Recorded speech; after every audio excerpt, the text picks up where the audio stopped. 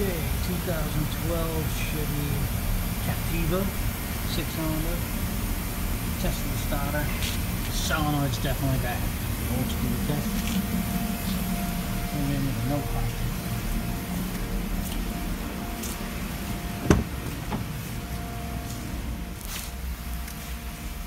Put a new starter in, still no crank.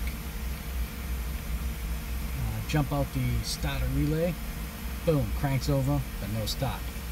Still get no action on turning the key. Now, car came in completely dead, so I didn't notice this before, but it takes a little while for the dash to fire up. Okay, we got electrical problem. Bad ground, bad module, who knows. Still no stop.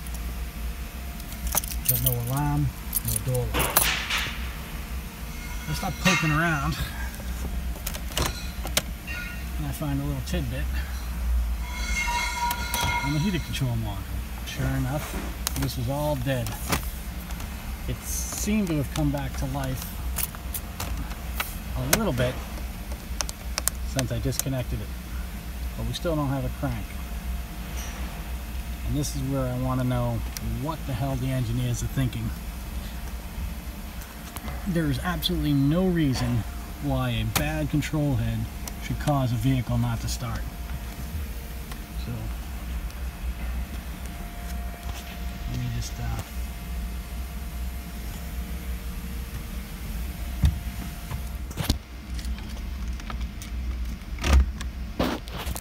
Alright, gotta move the shifter out of the way. Come back here. Unplug the module. Ooh, we got a key ignition dinger. Lights on the dash stay on.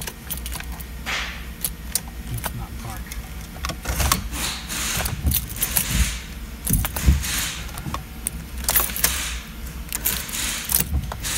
We got dash lights on.